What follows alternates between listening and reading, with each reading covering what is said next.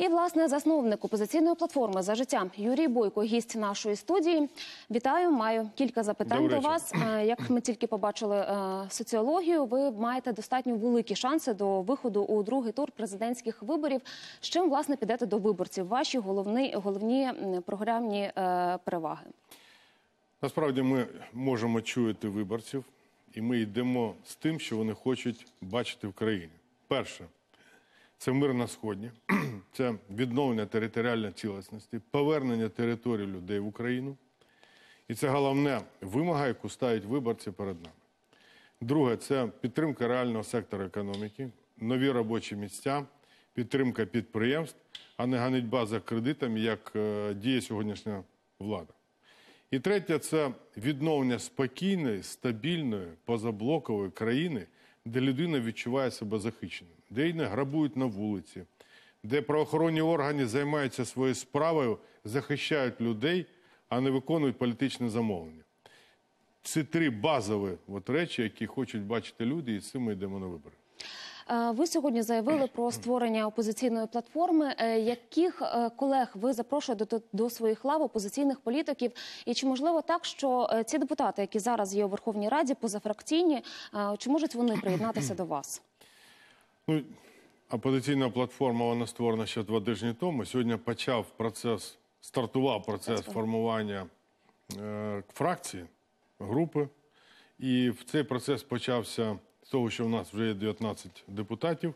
Я вважаю, що на нас не приблизить, наблизяться ще люди, ще депутати, тому що е, багато людей підходить і кажуть, що вони просто не розуміють, яким чином в роздробі можна знести сьогоднішню владу. Як її можна змінити? Тільки разом, тільки об'єднавшись, і це завдання, яке ми ставимо перед собою. Чим більше в нас буде депутатів, чим більше, більше буде підтримка, чим більше буде людей і депутатів, які проти цих грабіжницьких бюджетів поліцейських, проти свавілля сьогоднішнього режиму, тим скоріше буде змінена влада. Ми сьогодні чули е, таку достатньо емоційну заяву ваших соратників. Е, як ви її оцінюєте? Про виключення я маю на увазі. Ну, ми з жалем констатуємо, що частина опозиційного блоку пішла на е, службу до президента Порошенка.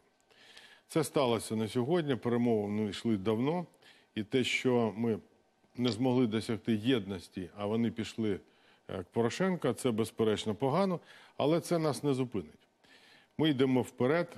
Ми не можемо стояти, я маю на увазі опозиційні сили на місці. Ми не можемо бачити, як грабують країну. Тому всі, хто вірить в те, що можна змінити сьогоднішню владу, вони до нас приєднаються. Повертаючись до роботи Верховної Ради, до порядку денного, бюджет це головне, е, що обговорюється на цьому тижні. Заплановано, що на четвер буде голосування у другому читанні за цей законопроект. Чи бачили ви остаточні цифри після поправок е, депутатських? Е, Які цифри вас бентежать і на чому ви наполягаєте?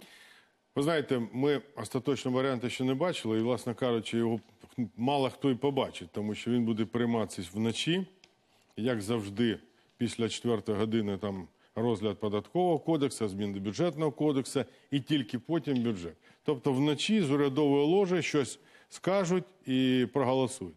Але ми знаємо, що там є. Це збільшення виплат на силовий блок. Причому я армію не маю на увазі. Це прокуратура, це СБУ, прикордонники і суттєве зменшення з урахуванням інфляції, зростання цін соціальних виплат. І ми їм кажемо, не треба робити такий бюджет, який штовхає людей далі в бідність. Подивіться, давайте покриємо корупційні дири. Вже другий таможенник тікає з країни, митник тікає, першого там водили по судах. Е, Сьогодні другий втік. Корупційні схеми працюють, ліс вивозять, бурштин вивозять, е, вугілля вивозять незаконно.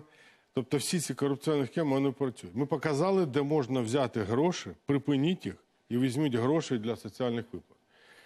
Менше давайте силовикам. Чому зменшення соціальних виплат і водночас на 15 мільярдів дають більше грошей силовикам, які не здатні е, розслідувати резонансні злочини в державі і створюють умов, обстановку невпевненості і хаосу. Таким чином, ми за такий бюджет, звісно, голосувати не будемо. Ми надали 54 свої пропозиції. ще перед першим читанням. Жодна не була врахована. Там домовились між собою залишки правлячої коаліції. І в гіршому варіанті такий самий поліцейський бюджет з бідним населенням пропонують прийняти. Звісно, наша платформа це не підтримує. Е, Субсидії дуже багато депутатів нарікають в парламенті, що йде суттєве скорочення виплат. Е, На вашу думку, наскільки там е, реальне зменшення, і що пропонуєте ви?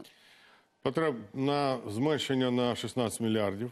Ну, можливо, там 4 мільярди вони додають, але все рівно буде зменшення. На 2 мільйона людей, 2 мільйона громадян України менше отримують субсидії в цьому році, ніж в попередньому. Ми вже це бачимо і ми розрахували це. І я вважаю, що взагалі е, проблема ця є. Людей просто над ними знущаються в чергах. От я був нещодавно е, в Ніколаєві і в Херсоні. Людей заставляють стояти в чергах, змушують відмовитись, створюють штучні перепони, щоб люди не отримали субсидії. Тобто просто йде знущання над народом. Єдине вихід цього це зменшення тарифів.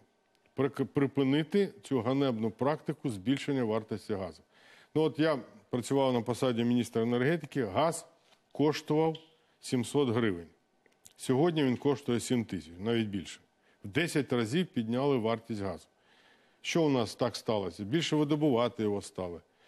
Вимоги МВФ, вони там кажуть, та треба займатися реальним сектором економіки, треба займатися підприємствами, а не їздити по закордонних державах і е, клянчити кредити. І якраз проти цього ми об'єднались, проти цього ми виступаємо. Тому проблема субсидій дійсно є. Вона може бути змінена тільки, тільки тим, щоб зменшити тарифи. Так само, як це було раніше, коли ми працювали в уряді. І так ми зробимо. Дякую вам за відповіді. Дякую вам. Юрій Бойко, засновник опозиційної платформи за життя, був гостем нашої студії. Дякую, що знайшли час для відповідей.